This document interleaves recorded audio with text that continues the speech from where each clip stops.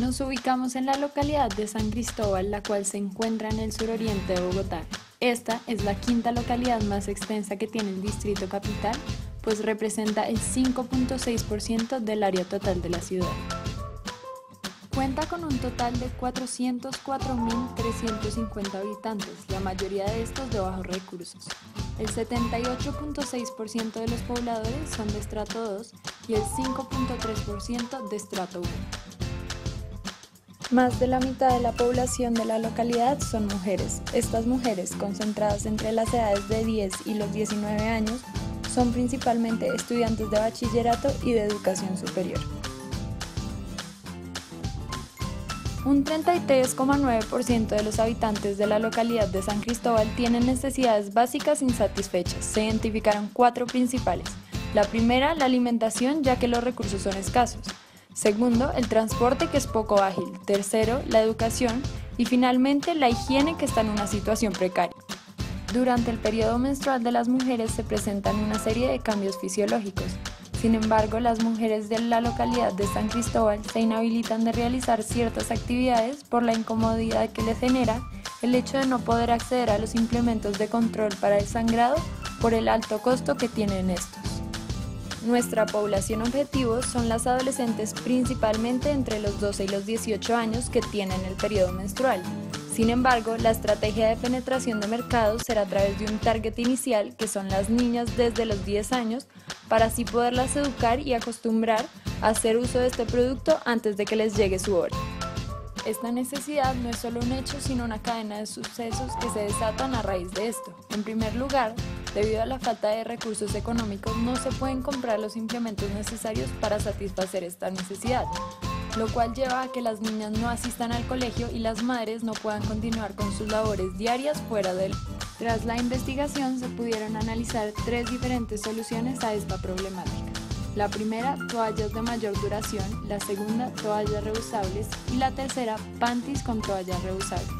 Estas tres opciones logran satisfacer la necesidad de las mujeres de esta población. Sin embargo, una de estas tres fue considerada la mejor opción debido a los beneficios que logra brindarle a la comunidad afectada. Los panties con toallas reusables. Consideramos este producto como la mejor opción porque dura más, es más amigable con el medio ambiente, hace sentir a las mujeres más cómodas y es más económico.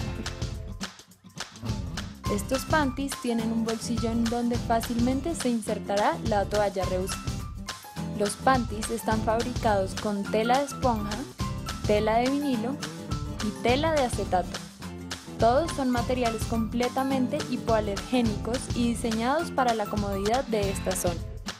Por esta y las demás razones expuestas anteriormente es que nuestra propuesta de valor consiste en ofrecer un producto de larga duración y exclusivo donde la comodidad y la higiene de la mujer sean los aspectos primordiales a atender.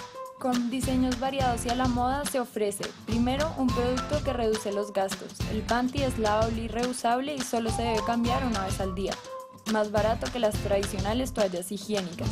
Segundo, un producto que reduce el tiempo que implica el constante cambio de las tradicionales toallas higiénicas a lo largo del día.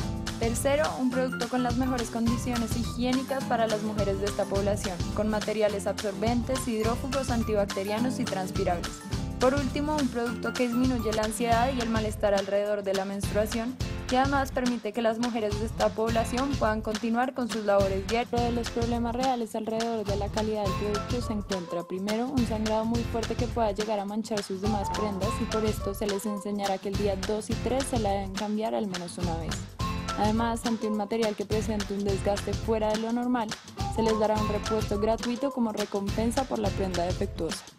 El ciclo de vida del producto consiste en una introducción en la que se lanzará el producto y comprobará la aceptación de este, un crecimiento en el que se diversificará el producto creando diferentes diseños, una madurez en la que se reducirán los costos para mantener el beneficio y un declive que será cuando la situación económica de la localidad haya mejorado.